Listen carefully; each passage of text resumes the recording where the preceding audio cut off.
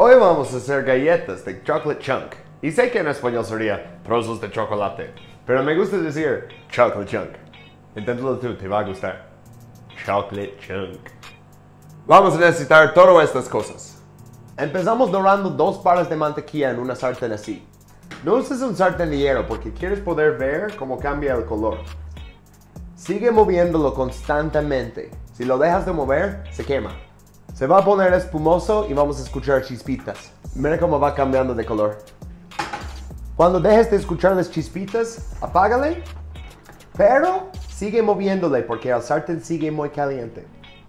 Y sigue moviéndolo así hasta que lo vacíes en un bowl grande. Esto lo queremos enfriar, entonces lo voy a tapar y meter al refri. En otro bowl grande vamos a poner los ingredientes secos, que son 2 y 3 cuartos tazas de harina, cucharadita de maicena, cucharadita de bicarbonato y una cucharadita de polvo para hornear. Échale tantita sal y los mezclamos bien. Ahora, picamos unos 200 a 300 gramos de chocolate. Y puede ser chocolate amargo, dulce, semidulce, como quieras. Yo estoy usando una mezcla. Gramos, ¿no? Empecé con unidades imperiales como tazas y ahora estoy usando métrico. Pero crecer en Estados Unidos y luego vivir en México te deja así.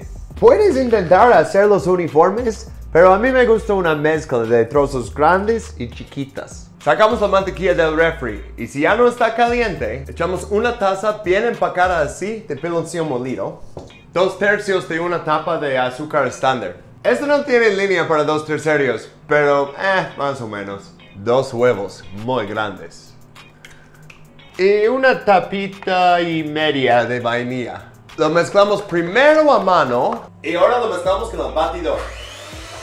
Y vas a ver cómo cambia mucho de color y textura.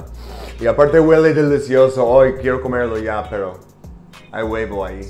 Agregamos los ingredientes secos a los mojados poco a poco. No la amasamos, nomás queremos que se incorpore. Una vez que se ve así, podemos echar todo el chocolate que aún no comimos de la tabla y mezclarlo con las manos. Ponemos papel pergamino en dos charolas y precalentamos el horno a 170 grados. Y hacemos las bolitas que serán nuestras galletas. ¿Sabías que las Fuerzas Armadas de Estados Unidos han perdido seis bombas nucleares? En el caso de Greensboro, Norte Carolina, un B-52 se estrelló y perdió dos bombas, cada uno con una fuerza explosiva 260 veces más grande que la de Hiroshima. Solo lograron recuperar una de las bombas. La otra sigue enterrada ahí hasta hoy en día. ¿Sabías que en la bomba que recuperaron tenía tres de sus cuatro mecanismos de armado activados? Y las agregamos sal. Como que son dos charolas, uno va a ir encima del otro. Por eso yo les cambio después de 10 minutos. Mientras esperamos, lavamos los trastes. Los de abajo van para arriba, los de arriba van para abajo y los dejamos 10 minutos más. Las dejamos enfriar, no seas cochino.